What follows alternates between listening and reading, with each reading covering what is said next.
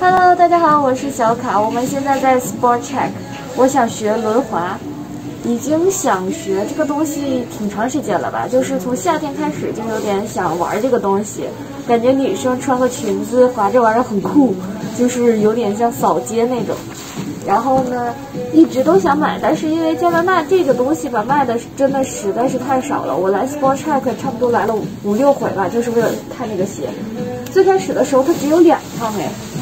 最开始真的只有两套，然后差不多就应该是七八双鞋吧，真的样子特别特别少。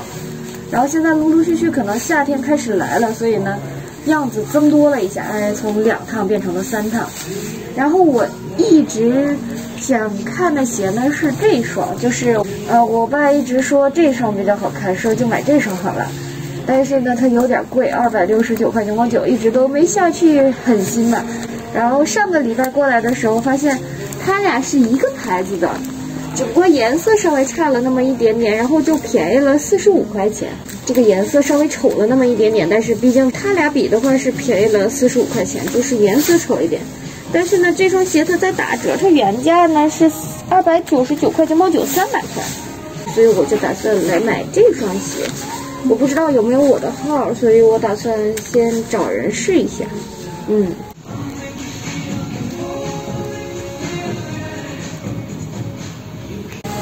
穿不进去呀！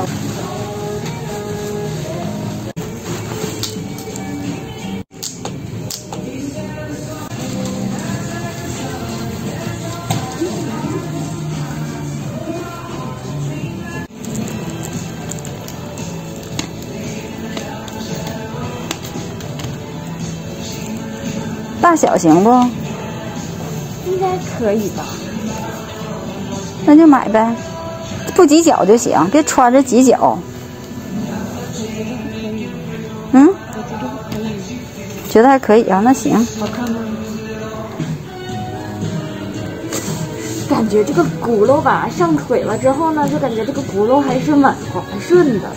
然后呢，实际上吧，没有太大的感觉，就是因为只试了一只脚嘛，所以感觉还能稍微控制一下。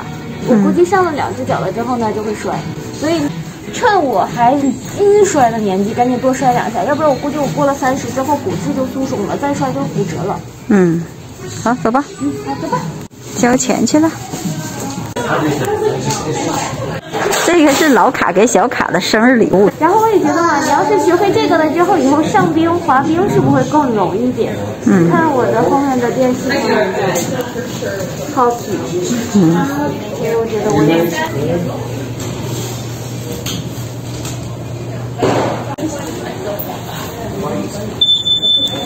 哎呀，这出门响了，可能是有什么扣没拿掉，试一试。嗯，又响了，可以走啊。